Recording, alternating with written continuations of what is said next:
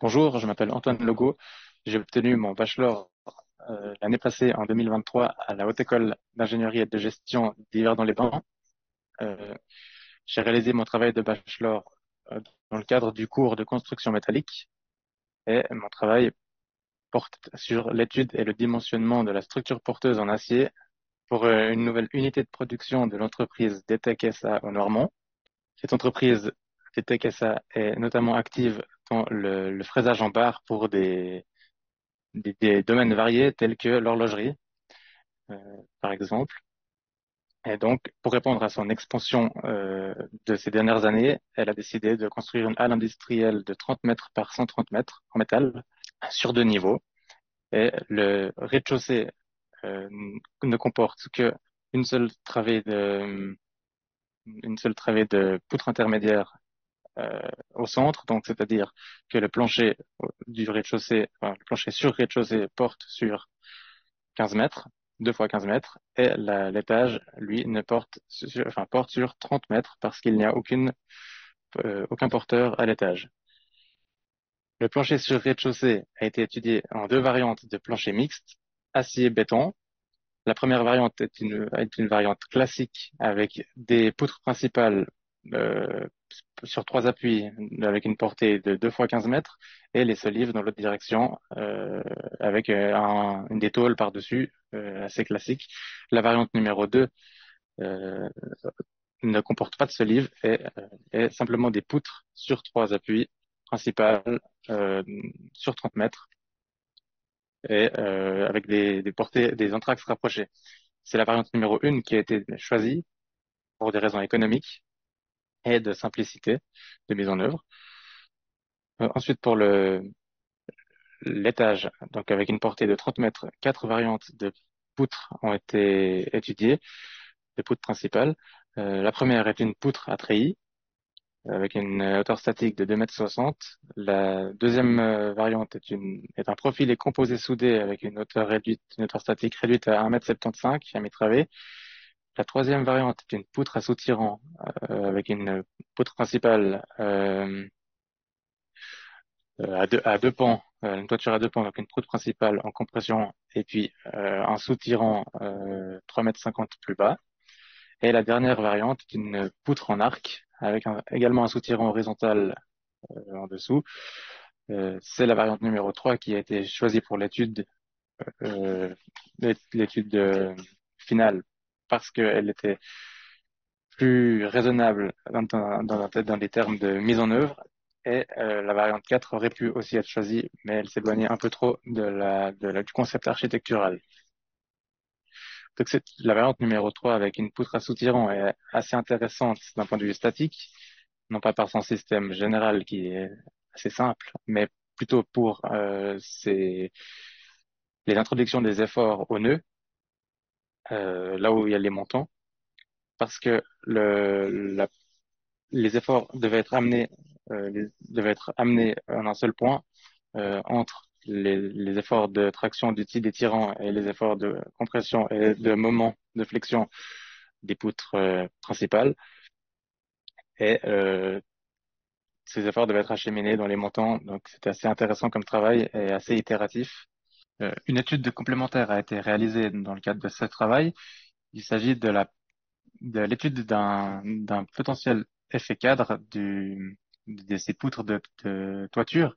Donc toute l'étude a été réalisée sans effet cadre, donc avec simplement des, une poutre appuyée sur les montants de façade.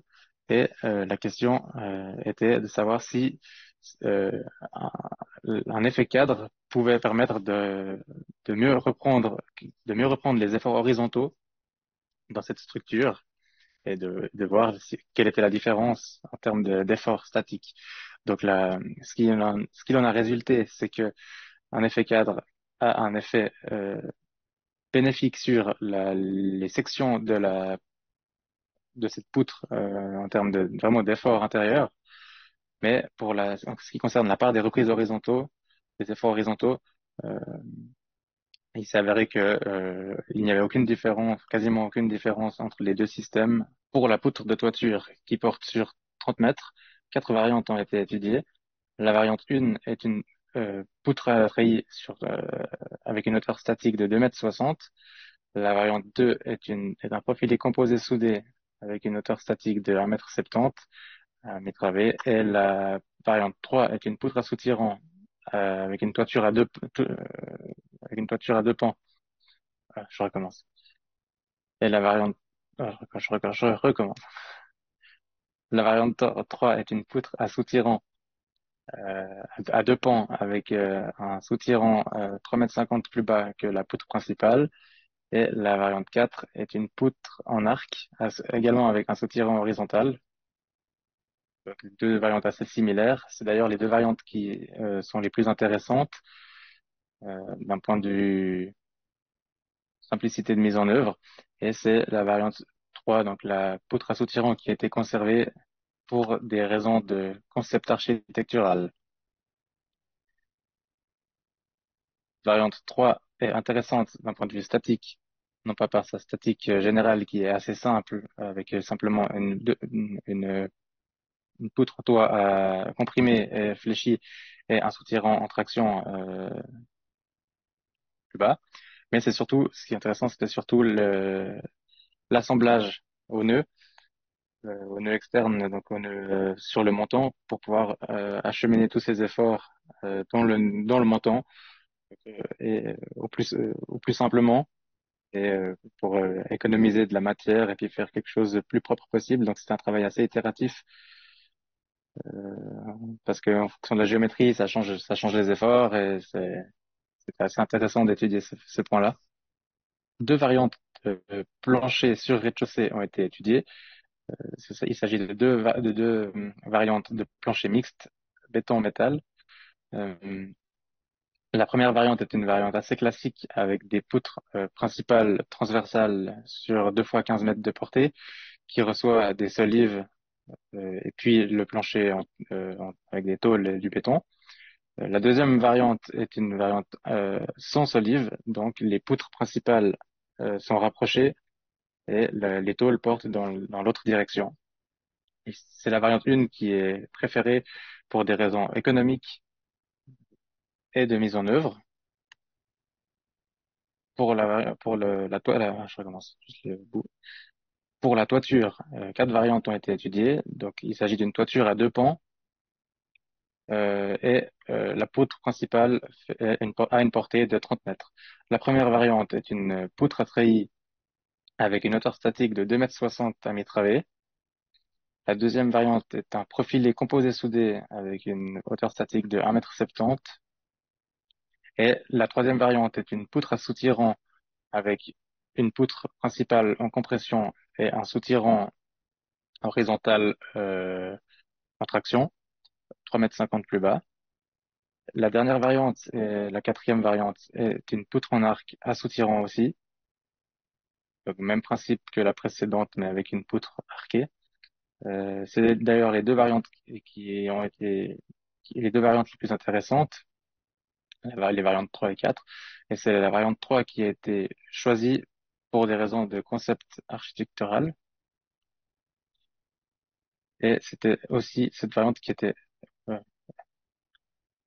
c'est la variante 3 qui a été choisie pour des raisons de concept architectural et parce que c'est c'est une variante qui a un qui est intéressante pour le qui était particulièrement intéressant avec cet assemblage était notamment le travail itératif derrière pour pouvoir acheminer tous les efforts euh, en un seul point et euh, les acheminer le plus proprement possible dans le, entre le tirant et la poutre principale et pour les amener jusqu'au jusqu'au montant de, de bord. Cette variante est intéressante d'un point de vue statique euh, notamment par l'assemblage au nœud, l'assemblage donc du du horizontal qui arrive euh, qui arrive contre le le profilé euh, comprimé et fléchi.